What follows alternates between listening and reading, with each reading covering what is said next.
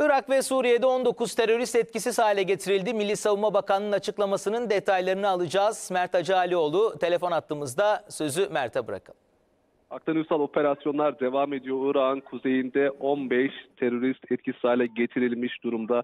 Suriye'nin kuzeyinde de 4 PKK-YPG'li terörist etkisiz hale getirildi ve toplamda 19 terörist etkisiz hale getirilmiş durumda. Şehitlerimiz için, milletimiz için tüm gücümüzle mücadeleye devam mesajı verdi Milli Savunma Bakanlığı. Teröristler kendilerini bekleyen kaçınılmaz sondan kurtulamayacaklar dedi.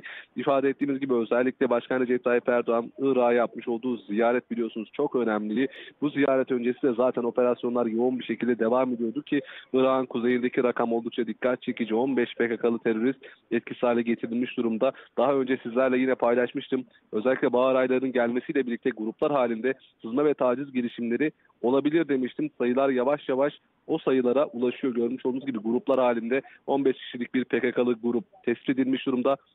Bölgede bulunan kahraman komandolarımız 15 teröristi etkisiz hale getirildi. Öte yandan Suriye'nin kuzeyinde de yine taciz ve sızma girişiminde bulunan 4 terörist etkisiz hale getirilmiş durumda. Toplam 19 teröristten söz etmekteyiz.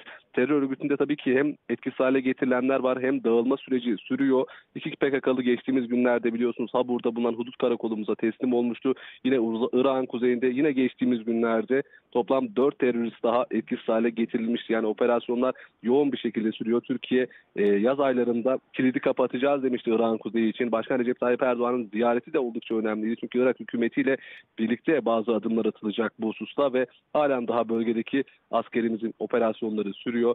19 terörist etkisiz hale getirilmiş durumda. İlerleyen saatlerde yine benzer açıklamaların gelmesi muhtemel diyelim. Sözü yeniden size bırakalım. Haklı Müsaade.